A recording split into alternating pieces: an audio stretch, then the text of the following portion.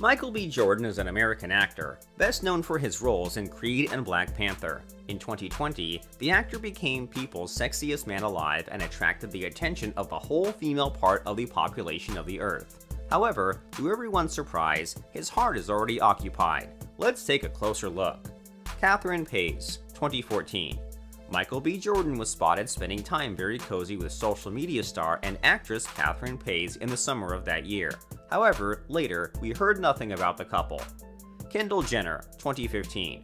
Then, the actor was linked to keeping up with the Kardashian star Kendall Jenner. The two were seen leaving a Met Gala after party together. Their supposed love affair caused different reactions from the fans of Jordan as not many of them are ready to see him with a white lady. Lupita Nyong'o, 2019.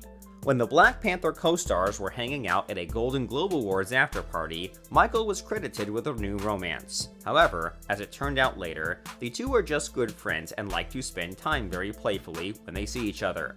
Kiki Layne, 2019. A little later, the All My Children alum visited a nightclub in Utah with actress Kiki Layne. He was even spotted kissing her on the cheek. But again, everything seems to end that very night. Cindy Bruna, 2019. The actor and Victoria's Secret model Cindy Bruna were spotted having dinner at the Italian restaurant. They spent the evening very sweet, but it was their first and last date. Later, everyone went their own way. Snoh Aalegra, 2019. After Jordan shared a passionate kiss with Allegra in her Whoa music video, there were rumors about their possible fling. In one of his interviews, he opened up that he was a big fan of Snoh's talent. Little is known what really happened between them away from the cameras. Lori Harvey, 2019 through present time.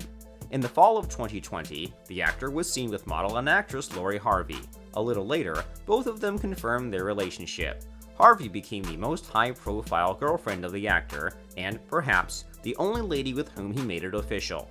The Loving-Birds made their Instagram debut as a couple in January 2021 when they shared photos where they were kissing and hugging. Looking at how happy they are, it can be assumed that their connection is really strong and it will last long. We'll see. Do you want to see more? Subscribe.